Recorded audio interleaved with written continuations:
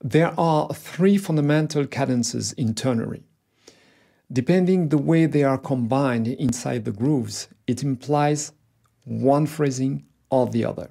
So it's very important to know them, to recognize them, to feel them. The first one arrives on the beat. Pana, pana, pana, pana, pana, pana, pana. The second one starts on the beat. Pana, pana, pana, pana, pana, pana, pana. The third one starts after the beat.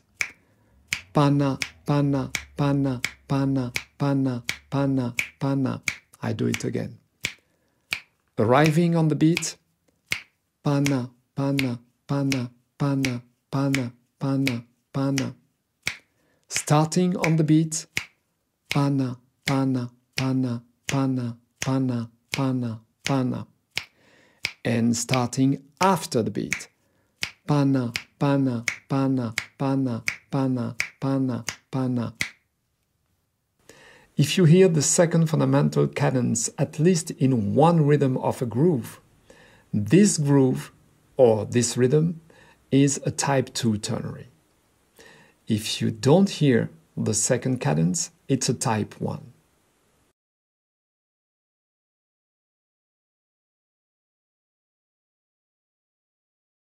Here are some examples of type 1 and type 2 grooves.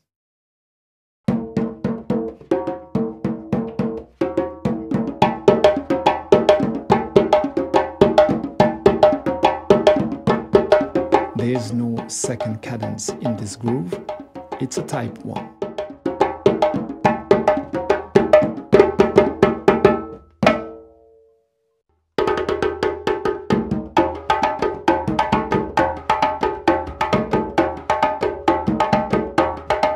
Now there's a second cadence, so it's a type 2.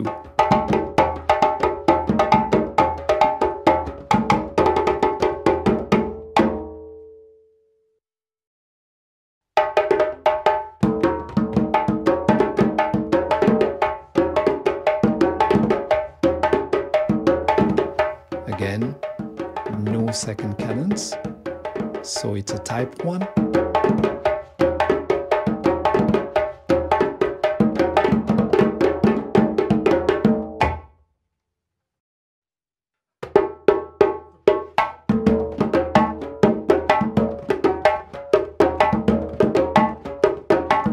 And finally, yes, we can hear a second cadence here. So it's a type 2.